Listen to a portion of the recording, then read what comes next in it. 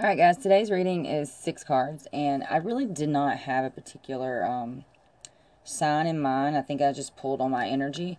Um, but like I said, we are all connected. And if you are a Cancer, an Aquarius, or a Leo, in any place, in uh, any placement, Sun, Moon, or Rising, um, this will possibly resonate with you.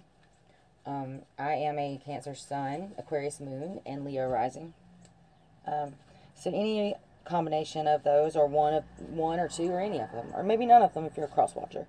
But um, you're welcome here either way, and this is going to be for whoever it resonates for. But um, with my energy being the only intentions that I did have, I did feel like I should tell you guys it's probably going to be more suited for Cancer, Leos, and Aquarius. Okay, um, it maybe even Sagittarius and Capricorn because I do have this heavily in my chart as well. All right, for um, the first card, it's going to represent your talents. The second card is going to represent your environment. The third card will be your resources. The fourth card will be what you cannot change. Like what there's no way in hell that you can change it no matter what you did. It's one of those things out of your hands. Um, number five, what must change. And then obviously six will be the outcome. All right. For card one, on your talents position, I actually pulled the Six of Wands. I feel like you need to be recognized for the ideas and creations that you've, you know, been working on um, you need some kind of acknowledgement that you're doing a great job. You need to be able to see that you know victory is near. You are you're on the the verge of just completing these things. Um, you need to be more confident in your own talents. Put it all out there. I mean, only you can finish, self-publish, um, whatever it is. There's something out there for you, um, but only you can do that to move forward. No one else is going to do that. Those hard things for you. The victorious um, demeanor, you know, that you're going to need you're going to have to have that to manifest your intentions. Remember to act like you already accomplished what it is that you're working towards. Remember, like when you set an intention and you let it go and you're manifesting, you don't dwell on it. You just go ahead and pretend and act and like just do as if you already have that thing. And that is the whole point of it. So in this position for talents, I feel like you have that ability to to manifest. You have that ability to um, fake the victory, so to speak, if you have to, to just either keep your own head up or whatever it does for your self-esteem um, but i don't feel like that you hurt anyone else in the process. I feel like it's completely um, something that you do for yourself a coping mechanism possibly. Um, but a victory is near and you are, are very close to manifesting your intentions. Just remember that this is what this is about. Um, moving forward don't stay stuck. Don't focus on that. Um, and that's one of your talents that you're able to actually just you know say something and let it go and not worry about it and that's actually pretty cool. All right for two in your environment at temperance. Your immediate environment has led you to a place of peace, which is strange because there was so much hell there for so long. It took a tower moment to shift you into this go mode. You needed to be um, hurt, so to speak, so you know how to help others when they felt that pain. You already know that you're here for a bigger reason. You already know you're here to guide others and to help others when they've been through hurtful things in life because you've been through them already. And you're a light for people that they can see that you overcome it. So that makes them give, you know, get the faith and the hope that they can as well. But, you know, you have a lot of people you're going to be helping in the future, not just yourself. Um, so you really are going to have to take some time to learn and to focus, um, go within and do that spiritual growth, you know, like temperance suggests, and, and just do that, that beautiful patient thing and learn. Um, you did a lot of shadow work. It's been a good few months, maybe about a year for some of you that you've been working on it. Um, so your environment's, you know, I feel like you're in a heightened energetic state. Um, because, you know, maybe the eggshell walking, or maybe it's just that you're getting ready to move and you're antsy, or you know something never no one else knows because you're not sharing it. Um, but guidance and knowledge is steadily coming to you. It's changing your whole entire outlook on life, um, and even what comes after life. I feel like you are starting to learn and getting being able to get those um, downloads from the Akashic records or whatever you believe they come from. Um, I feel like you're getting those downloads though.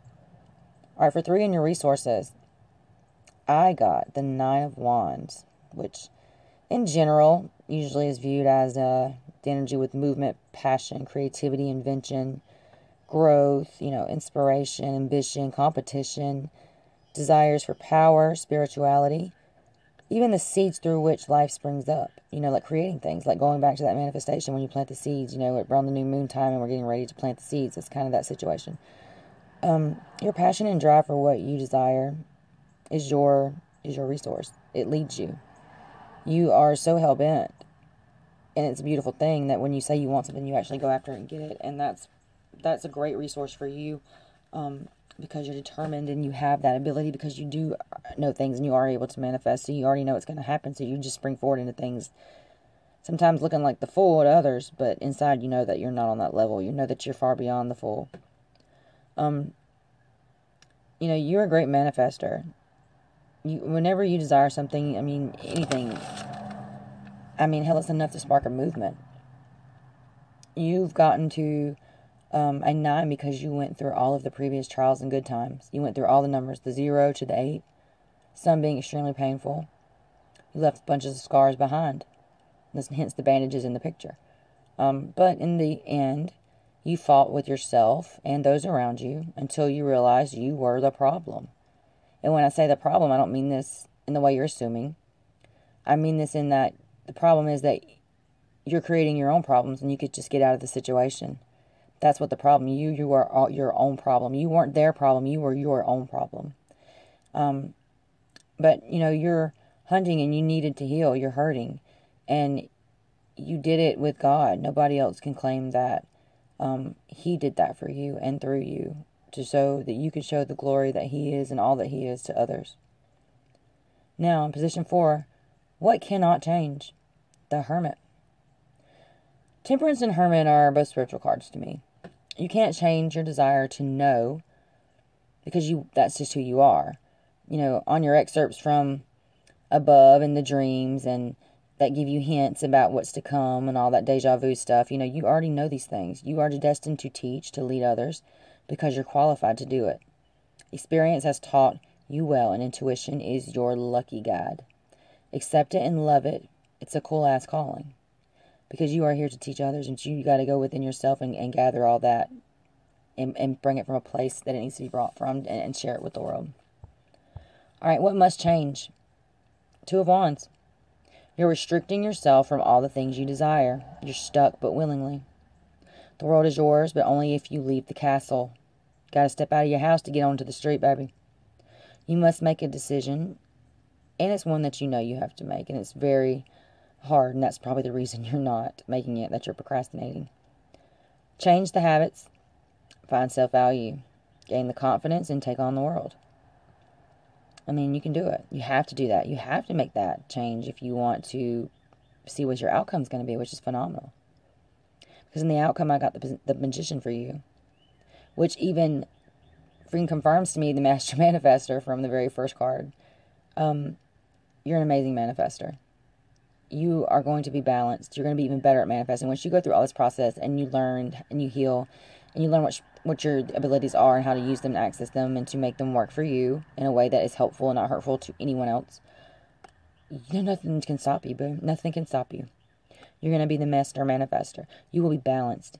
You will be powerful. You will be able to just make anything out of nothing. Like MacGyver or some shit but on a way like way more spiritual level. Like I can't even explain that. Why the hell I said MacGyver, I don't know, but you get what I'm saying. Like you're gonna be able to do some hella shit. And I feel like there's a reason that you have to do all this. There's a reason you gotta go through this. It's not gonna get easy for you. These karmic cycles will not stop.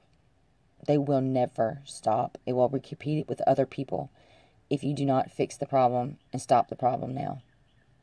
Do it while it's easy to do it. Do it when it's understandable to do it because you and this person are having problems now, anyways. Do it now while it's understandable to do it.